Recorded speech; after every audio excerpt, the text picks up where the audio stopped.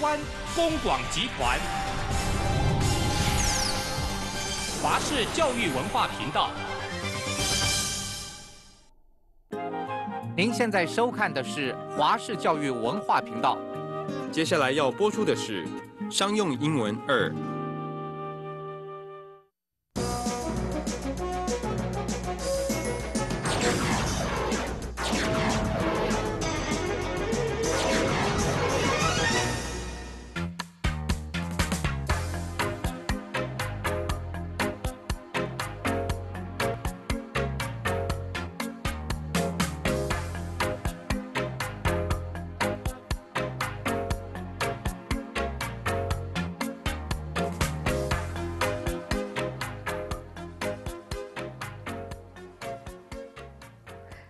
学，大家好，欢迎收看商用英文的课程。我是今天的主讲老师邱怡慧 Florence。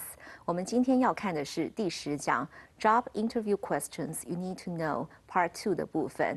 我们在上一周已经有提到了，就是对于有工作经验的同学来说，要怎么样去深入的回答一些常见的呃一些面试的问题。然后呢，我们也教同学一些技巧。那我想这是非常重要的一个部分。我们今天还要再继续看更多的呃 job interview questions。我们现在就呃欢迎 Stephen 来到我们节目之中。Welcome, Stephen. Hi, Florence. It's great to be back. 好，我们现在就开始进行我们今天的课程的内容。我们先请 Stephen 来帮我们念一下课文的第一段。So let's look at the first paragraph. What kinds of people do you have trouble working with? Interviewers sometimes ask this question to see if you are flexible and if you can work in a diverse environment.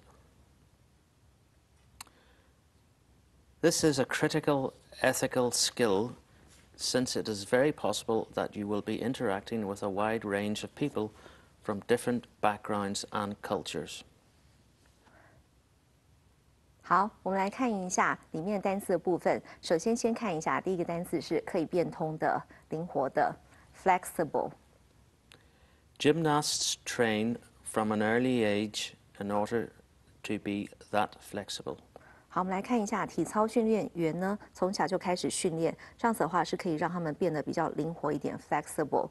再来，接下来我们看一下不同的、多样的，diverse。Getting to know people from diverse cultural backgrounds can be an invigorating experience. 好，我们看到前面呢，在 can 的前面就是说可以认识不同文化背景的人呢，这件事情呢是令人呃就是非常鼓舞的这样子的经验，就是让让人家非常兴奋的意思。好，接下来我们来看一下下一个单词是关键性的 critical。It was critical for her to know that this was no joke. 好，那我们看到就是说对他来说呢，呃，就是一定要知道说这根本不是一个开玩笑的事情，这是非常有关键性的，而且是非常重要的意思。接下来我们来看一下有道德的 ethical。It was not very ethical of her to speak at that time. OK，就是说在那个时候呢，说话呢其实是非常的，就是呃，不是不是很适当的、很恰当这样子的意思。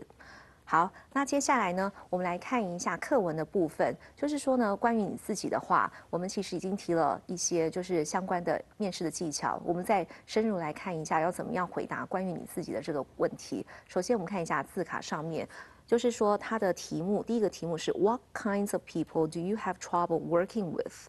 我想这个问题呢，为什么要问呢？他说哪一种类型人让你觉得是很难相处的？那我们可以看到 have trouble 的话是有困难度的意思。所以呢，面试就是主考官呢常常会问这个问题，是要看看说是否你是一个 flexible 的人。flexible 是说可以变通，那甚至就是圆融的意思。然后呢 ，and if you can work in a diverse environment，还有呢，你是不是可以在一个多元化的，就是非常多变的这个样子的一个环境下工作？所以它是一个非常 critical ethical skill，就是说实在是就是非常有关键性的一个技巧，伦理上面的一个技巧。因为呢，it is very possible that you will be interacting with a wide range of people。我们看到这边的话，a wide range of 就是说许多的意思， 就是说你会跟许多不同背景还有文化的人呃，就是会有任何的，就是有一些互动的机会，所以一定要知道说你是不是非常的 flexible。好，我们接下来要看一下下面一个段落，就是想了解一下，就是你对哪一些事情是有热情的。我们请 Stephen 来帮我们念一下下面一个段落。What are you passionate about? This is an opportunity to show your dedication and what's important to you. Your passions do not have to be work related. You could be passionate about helping others, doing volunteer work, writing, painting, etc. Your response to this question shows the interviewer your enthusiasm for what interests you and thus will help determine whether you will be willing a willing participant in a work project. 好，我们来看一下里面单词的部分。首先，第一个单词呢是义工，那这个字呢是 volunteer。 Volunteer. There are hundreds of volunteers at the National Palace Museum. 好，我们看到就是在故宫 National Palace Museum，就是故宫有上百位的志工、义工的意思。再来下一个单字是 热情、热忱的意思，enthusiasm。Enthusiasm is often fueled by motivation. 好，我们可以看到动机呢常常是会带来热情的意思。然后再来下一个单字是决定。It was hard to, to determine whether he had a future in music or not. 好，就是其实是很难决定说，呃，是否他就是会在未来会有一呃，就是在音乐上面会有一些表现。再来呢，下面一个单词是乐意的、愿意的，William。 She was not very willing about lending her dress to her roommate. 好，他不是非常愿意，就是把他的衣服呢借给他的室友，就是这样子的用法。再来，下面是参与者，participant。 The partic- participant was disqualified from the competition because of his behavior. 好，这个参与参赛的人呢，参与的人呢，其实呢，他因为他自己的一个 behavior，他的行为呢，啊、被取消资格了。我们看到这边 disqualified 是取消资格的意思。好，那我们来看一下我们的课文大意的部分，我们看看是怎么样去展现出你自己的 passion。我们看到字卡的部分，我们看到这个题目是说 why。啊、w h a t are you passionate about？就是说呢，你所以对哪些事情是感到有热情的呢？然后呢，我们看一下，就是说这样子的话，这些问题有点像是呃问一下你的 hobby 是什么样的意思哦，就是你你对什么事情是呃什么事情是你的嗜好，所以他说这样子的话是你的一个 opportunity，就是一个机会，可以去 show your dedication，就是会去展现出你自己呃所热衷的事情，还有呢哪些事情是对你来说是很重要的。所以呢，你所谓的 passion，你所呃你的热情呢，不见得是一定要跟工作是有关系的。比方说，你也可以是 you could be passionate about helping others doing volunteer work，就是说你可能是对于帮助别人啊，或者是做一些 volunteer work，就是志工的工作，或者是写作啊，或者是画画这些呢，是很有热情的。所以呢，你的 response 就是你的这个答案呢，其实是展现给这个主考官看出你的 enthusiasm，就是你自己的非常，就是你的热忱还有你的热情在。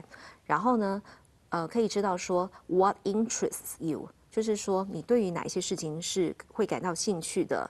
那这样子的话，其实会帮助主考官去 determine，就是去决定说你是否呢是可以在这个工作的一个案子里，就是专案里面呢是一个 willing participant，就是说你是愿意参与的人，这样子的意思。participant 是参与的人。好，那我们现在先休息一下，我们等一下呢再看更多的就是工作技巧的呃工作面试的一些内容。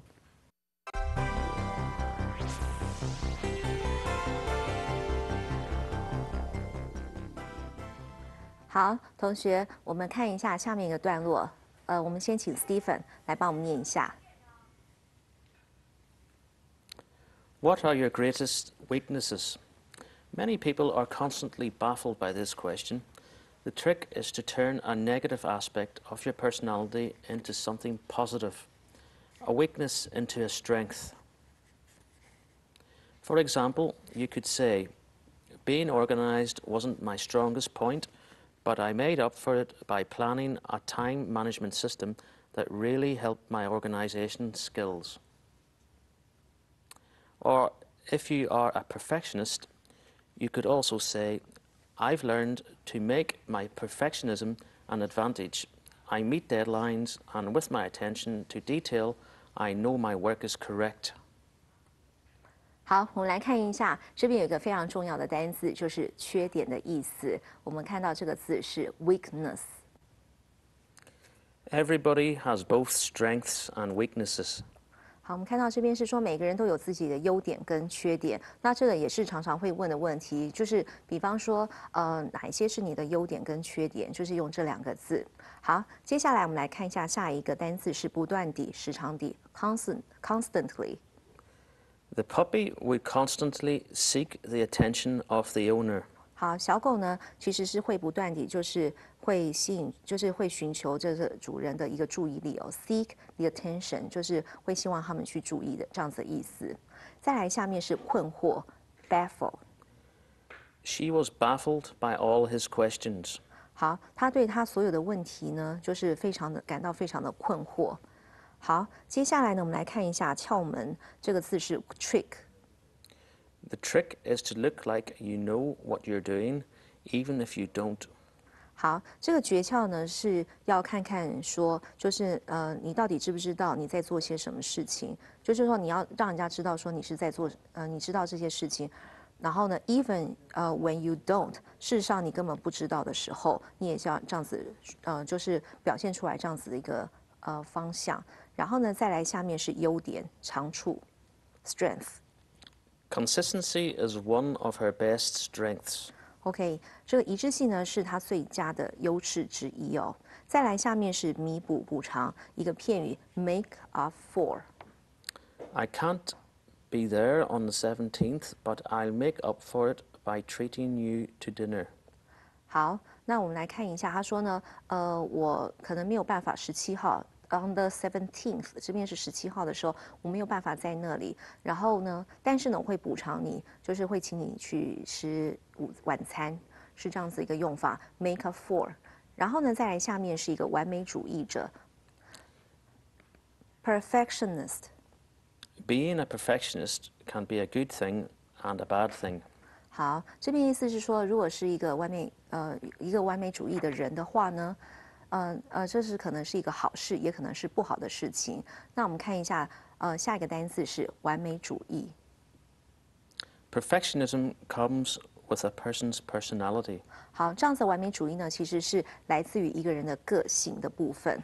好，我们接下来呢要看的这个段落呢，是有关于你的缺点的部分。我想这个问题其实是有点难回答的。我们来看一下课文的部分。首先，同学可以看到，在第三点的上面呢，这个问题呢是说你最大的缺点是哪些呢？好，那我们再看，继续看。他说呢，许多人其实呢常常会被这个问题所 baffle，这边是困惑、困扰的意呃困惑的意思。那 constantly 就是说经常性的。好，那这个技巧是在什么地方呢？The trick 就是说这个窍门是说呢，你要怎么样把你自己个性里面呢负面的地方 negative aspect，然后呢把它变成一个正面的部分 something positive 就是正向的部分，然后呢怎么样把一个，也就是说怎么样把一个 weakness，然后呢把它变成一个 strength，这个 weakness 就是缺点，然后怎么样把它变成一个优点？For example，就说比方说呢，you could say。Being organized，比方说，呃，就是你并不是一个非常有组织的一个人，wasn't my strongest point，并不是我的最强的部分。但是呢，我决定就是要补偿这样子一个问题，by planning a time management system，就是说怎怎么样借由这个时间管理呢，让自己呢是呃可以改善这样子一个部分。然后这件这个时间管理这个部分呢，其实是 really help my organization skills，就是可以去加强我的组织的能力。那另外一个部分呢，你也呃，如果说你是一个完美主义者呢，其实呢，你也可以说下面的呃回答。他说呢，I've learned to make my perfectionism an advantage。好，我说呢，呃，他的意思是说，我已经学会怎么样去把我的完美主义，呃，这样子成为一个我的优点。然后呢，比方说呢，我常常 meet deadlines，就是说呢，我一定要在时间截稿之前或截止之前呢，我一定要达成，或者是说呢，我会将我的注意力呢放在这些细节上面。然后呢，或者是说我知道说，呃，我自己所做的工作呢，其实是都是非常正确的。那这个是有关于呃这个你的最大的缺点这个问题，你要怎么样回答才会比较理想？那我们接下来来请 Stephen 来帮我们念一下下面一段课文。What is your salary expectation for this job? When interviewers ask you about this question, they're probably thinking, can we afford you? Can we get you for less than budgeted? Don't be tricked by this question. Instead, you could say that you are still not sure about what the job entails and what the responsibilities involved are. So you'll need more information before you can discuss the salary. Or you can turn the question on them and ask about the range budgeted for the position is. 好，我们来看一下里面的单字。首先，第一个单字呢，就是期望的意思。我们来看一下字卡的部分，expectation。His goal was to live up to his parents' expectations. 好，我们来看一下他的目标呢，就是要达到父母亲的期望。它这边是一个片语的用法。再来是大概、或许 （probably）。The CEO probably got his secretary to cancel his reservations. 好，这个总裁呢，CEO，他可能就是请他的秘书呢取消掉他的呃预约。好，再来下面这个单字呢，这边是提供、给予，或者是说可不可以付得起这样子的意思，afford。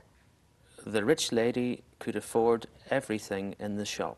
好，这个有钱的女士呢，其实呢都可以购买商店中的所有的 呃东西，但是这个意思就是说付得起的意思。再来下面是责任这个字，responsibility。As you grow up, you will have more and more responsibilities. 好，当你长大的时候，你会有越来越多的责任。好，再来下面是讨论，discuss。I tried to discuss the issue with her, but she was in denial. 好，我试着是跟他去讨论这个议题，但是呢，他拒绝了。好，那我们现在接下来这个课文呢是要再讲薪水的期望的问题，我想这个也是非常敏感的一个问题。我们来看一下课文的内容。首先，我们来看一下你的问题呢，呃，就是第一点呢，他这边是说，呃，有有关于呃你期望的呃薪水大概是多少？所以呢，当主考官在问你这样子问题的时候呢，其实呢，他们心里想的问题是，我们看一下引号的部分，Can we afford you？OK，就是说公司可以负担得起吗？付得起吗？好，然后呢，再来，比方说你是希望是呃月薪是五万，但是呢，我们是不是可以就是可以给你的薪水是比那个预期的预算还要更少呢？我们看到这个用法是 less than budgeted，这边的话 budget 是说有预呃预算的，但是它是说希望是比预算还要更少的，所以呢，千万不要被这些问题所 trick，就是所呃就是上当这样子的意思哦。然后呢，取而代之的就是反而你要怎么样呢？你可以说，其实你也不是很确定说这个工作还 entail 包含了哪些事情呢？还有呢，what the responsibilities involved are，就是说，比方说还有哪一些的承担的责任。所以呢，其实你必须要在讨论薪水之前呢，你还有需要更多的 information，就是这样子慢慢的可以去。呃，就是找出大家的共同点，所以他说，you turn the question on them，就是你最后呢，就是反问这个主考官，然后呢，ask about what the range budgeted for the position is，就是也许呢可以去问出来这个 range，range 的意思就是说范围，就是比方说薪水范围，比方说是四万八到五万二之间，类似像这样子。好，那我们现在先休息一下，等一下我们再看下面一个段落。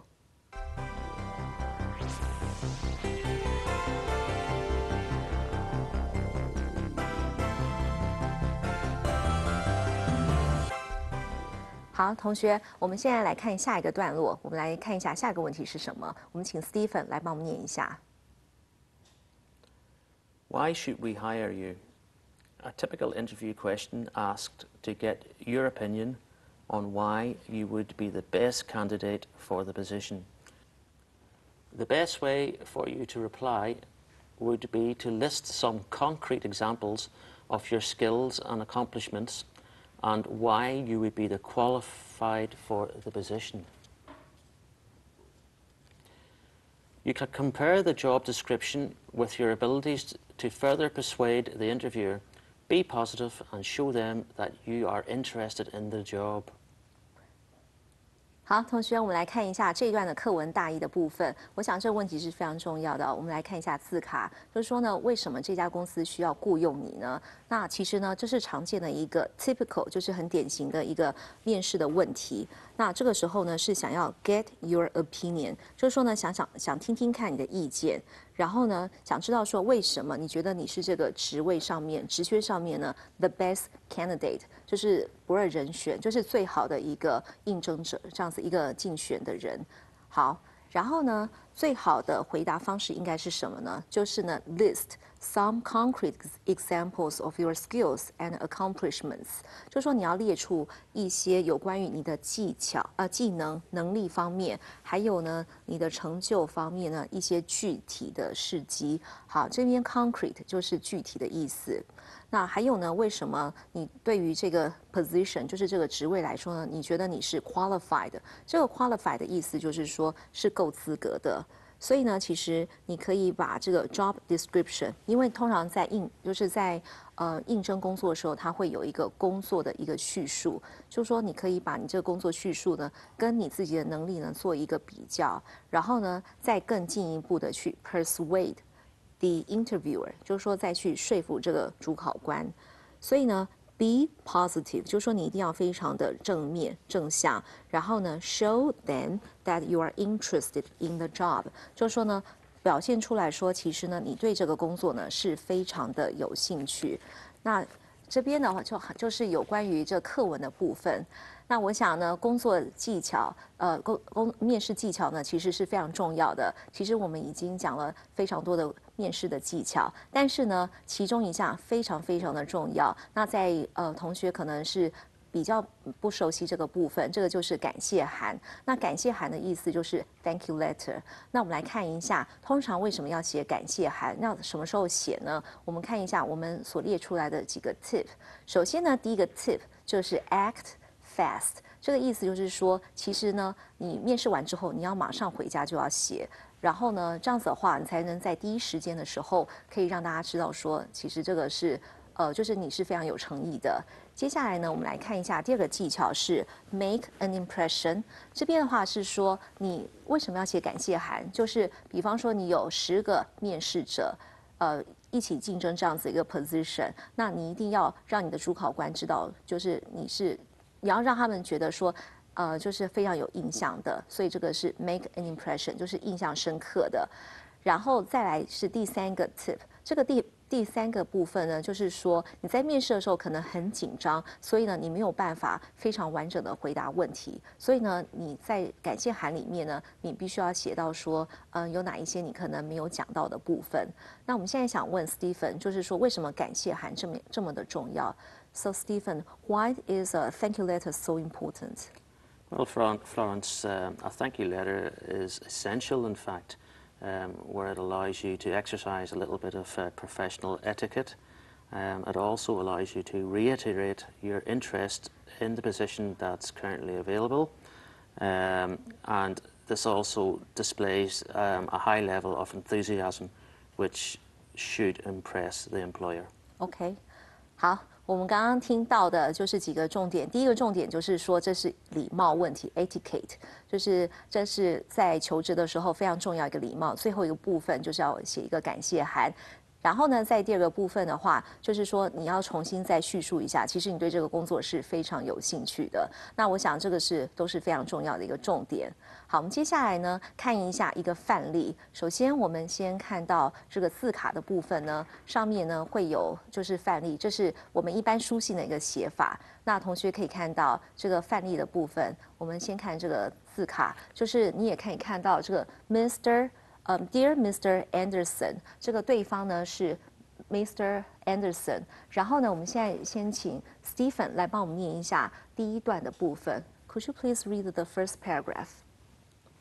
thank you for taking the time to discuss the senior engineer position at ABC Company with me. After meeting you, I am convinced that my background and skills meet your needs. I really appreciate that you took so much time to introduce the company to me. I feel I could learn a great deal from you and would certainly enjoy working with you. In addition to my qualifications and experience, I will bring excellent work habits and judgment to the position. I look forward to hearing from you concerning your hiring decision. Again, thank you for your time and consideration. Sincerely yours, Timothy Ye. 好，同学，我们看到了这个字卡部分哦。那同学可以看到，就是呢，你在开头的地方，就是一定要了解到到底谁来面试你，所以你一定要写出 Dear。然后呢，比方说在这边的话，你是 Mr. Anderson 来面试你的，因为通常对方就是主考官。或者是面试的人，通常都会给你一张名片。那这样子的话，你一定要非常清楚到底是谁来面试的。然后呢，再来，呃，我们在第一段的地方，就是说你一定要先写主旨。那主旨的意思就是说，谢谢你，就是 take take the time。这边话是说花时间，就是跟我们讨论 A B C 公司的这个 senior engineer position，就是在这边是说，就是呃高级的呃工程师的这个职位。所以他说呢，跟你面谈完之后呢，我相信，I'm convinced that，就是我相信我的背景还有呢技能呢，其实都能符合你们的需求。那我想这个部分就是说，再次的强调一下，其实呢，呃，其实你的背景是符合他们的一个要求的。那这是非常重要的。其实你必须要很明白的，就用最简单的一个话，就是把它写出来，就是为什么你要写这一封信。好，接下来我们来看一下第二段的部分。第二段部分呢，其实你要再再次的再去 sell yourself，就是在推销自己哦。然后我们看到他说，I really appreciate that you took so much time，就说呢，我非常的感激你会花这么多时间来 introduce the company to me，就说为我介绍这个公司。然后呢，我觉得我可以从你们这边呢学到很多，a great deal，就是非常多的意思。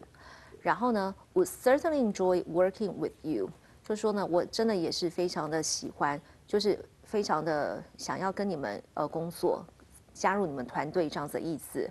所以呢，第一个部分就是有关于呃，就是你必须要对于这家公司是有兴趣的，就是我们一直不断在重述的一遍，就是在说的那个一个重点，就是说你一定要 show your interest。或者是 your enthusiasm in the company，这是非常重要的。就是如果你对这公司没有兴趣，你就不需要就是再写这封感谢函了。好，我们再继续看刚刚感谢函下面的话，他说呢，In addition to my qualifications，就是这边是说除了我的一些呃 qualifications，就是我的资历资格的意思，就是比方说学历或者是你的一些证照，还有呢 experience，就是 work experience。I will bring excellent work habits and judgment to the position。这边的话意思是说，我希望我能带给这个公司呢，就是这个职位呢很好的一个 work habits，就是一个工作的一个习惯。好。那这是第二段呢，有关于呃你主要的再去 show，就是去 sell yourself 这个部分。第三段呢，就是再做一个结尾。那同学应该都有学过，这是书信的写法。最后就是我非常希望、非常期望能再接到你的回音。所以我们看到这边是说 looking forward，呃 look forward to 这边是说期望的意思。同学后面要再加上动名词的一个用法。所以我们会看到 hearing from you，就是说得到你的消息。